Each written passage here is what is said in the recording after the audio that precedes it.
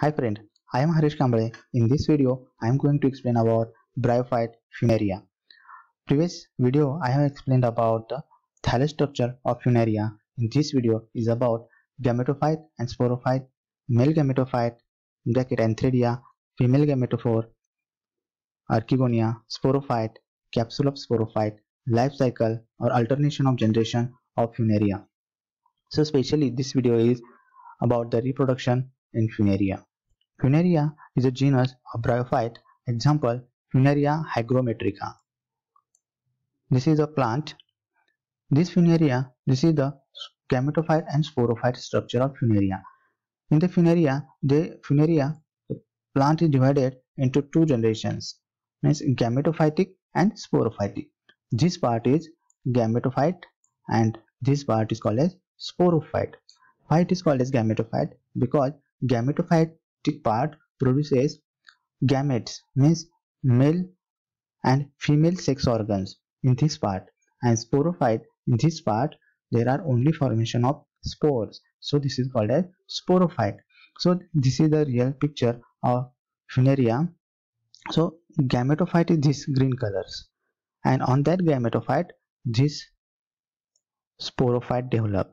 So gametophyte absorb nutrients from the soils and from the water and prepare food material and this sporophyte is depend on gametophyte for growth and development. So in this condition gametophyte is a dominant over sporophyte. Sporophyte because gametophyte is long-lived and strong they are independent they absorb food material prepare food and this sporophyte is depend on the gametophyte. Funaria plant is monoecious, means on the single plant there are male and female sex organ develop. In this plant there are two separate branches develop, this one and this one. On the main branches there are male sex organ develop at the tip of the branch. At the tip of branch is covered by the crown-like structure and this crown-like structure is made by leaves and this same like structure is covered by spirally coiled leaves. And side branch develop female sex organs archegoniophore and here male sex organ antheridophore so male sex organ produce antheridia so these are the male sex organ produced here. And it look like such a there are uh, three main parts in the male sex organs. And these three main parts are first main part is antheridium Single is called as antheridium and many are called as antheridia. Here are three antheridium. One, this is two, and this one is a three. Mature antheridia and fourth one is a small. Four, four antheridium. So they are called as antheridia because they are four. Plural form antheridia. And another one is a there are first one is antheridium, second one is a paraphysis Paraphysis is a sterile body which is developed side by side of antheridia. This is sterile body. This is a hair-like structure, unicellular, and at the end they are globular. They are globular at the end, and they are hair-like structure, unicellular. So these are the paraphysis. And third part is perigonal leaves. These perigonal leaves are at the peripheral site at the site of this. And in that perigonal leaf there are paraphysis and antheridium so in the male sex organ it's called as antheridiophore and in the at the tip of antheridiophore there are antheridium develop paraphysis and perigonal leaves in the antheridium there are development of this is sorry antheridium single is called as antheridium. In the antheridium, there is the development of antherozoids. Antherozoids means male gamete. Here, male gametes develop in the antheridium. So many antheridium, first they form a cells and it's called as anthrocytes. And these anthrocytes, when released, they are called they are developed into antherozoids. They are biflagellated sperms or is called as male gamete. They are formed inside the antheridia so in the antheridium male gametes develop called as antherozoids second one is a female sex organs called as archegonium archegonium female sex organ this archegonium singly archegonium and plural is archegonia this archegonium develop egg cells here so see the structure. At the end of female branch develops there are two main parts. They are divided into two main parts. One is archegonium this one one here two one. This one one. This is two three and four. Four archegoniums is there. These archegoniums is surrounded by the parietal lobes these are the parietal lobes these are the parietal lobes here these are the parietal so there are two two parts.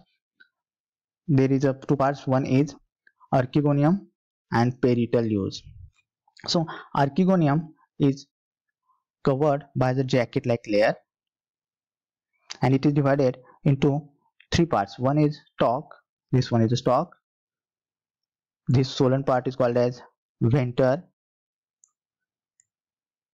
and uppermost part is called as neck. This is the neck. So in the stalk provided nutrition to the upper part and in the venter there is a egg cell developed this is the egg cell. And neck produce a canal and in that canal there are neck canal cells. These are the this is the canal. And in this canal there are neck canal cells and venter cells are present. And at the tip there are like cover cells presence. Because of that cover cells archegonium is closed. And this is a passage called a neck canal cell. This neck canal cell disintegrate and produce mucilaginous substance sticky substance to attract the sperm. So the female sex organ archegoniophore produce archegonium and in that archegonium there is a egg developed. This egg and when sperm unite that time fertilization is affected. Affected or fertilization takes place. So fertilization takes place when the in the female archegonium when the egg when sperms transfer from male to antheridia to archegonium by the water. So the here water play very important role. Water carry antherozoids or male sperms from the antheridia to archegonia and the fertilization takes place in the female sex organ called as archegonium here see here archegonium male sex organs enter through this passage and unite to the eggs. And when these eggs when after fertilization convert it to oospores or zygote. And these zygotes develop into sporophyte. Here zygote develop into sporophyte. It start to develop. This is the sporophyte development.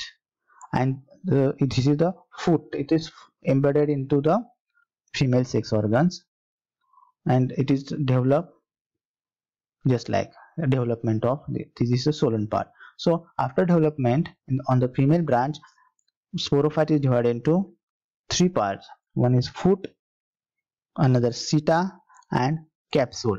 Foot is embedded in the female gametophore and it absorbs nutrition and provided to and capsule. Seta is a slender tube like structure elongated and at the end of seta there is a capsule development. Capsule is a uh, globules or or pear shaped. At the end of capsule there are calyptra.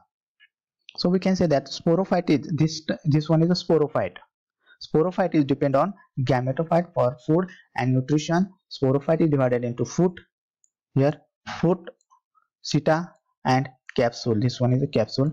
This is the pear shaped capsule which has a lead calyptra. This is a slender tip calyptra. So this is the structure of sporophyte. Then capsule of sporophyte. What spores are produced in the capsule of sporophyte? So this capsule this is a capsule. This capsule is divided. This one is a capsule. This region of capsule is called as apophysis. See here. This is the apophysis region. This is the seta stalk this is the seta. This one is the seta. This is seta. And at near to this seta this region is called as apophysis. Apophysis. And above this apophysis there are columns. This one is hollow column here this is column developed. This one is called as column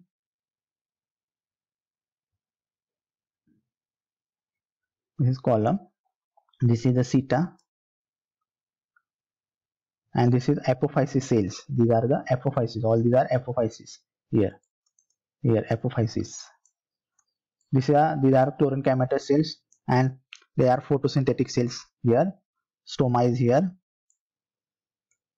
They prepare food material in less quantity. Apophysis this one. And surround this is the hollow part. Our middle part is columella this is the middle part. We can say that columella here. This one is the middle part. Columella. Columella is surrounded by the spores. Spore bearing here. Spores are present. Here called spore mother cells here. Spores developed side of the columella here. Here spores are developed in this region. Spores are developed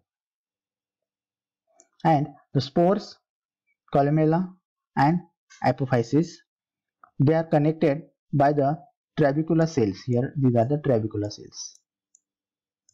And these are the air chambers. These are the air chambers. Here. Air chambers. These are the air chambers present. They are connected with to the apophysis. Outermost layer is called as epidermis. This one and below that epidermis there are hypodermis. This is the epidermis outermost and below that hypodermis. So here hypodermis these are hypodermis. Below this hypodermis hypodermis. The spores are developed here and after that they release in the when they come in contact this in this capsule when this calyptra is released and this cap is called as operculum operculum is released when water is absorbed and the spore is released. These spores gives new Funaria plants.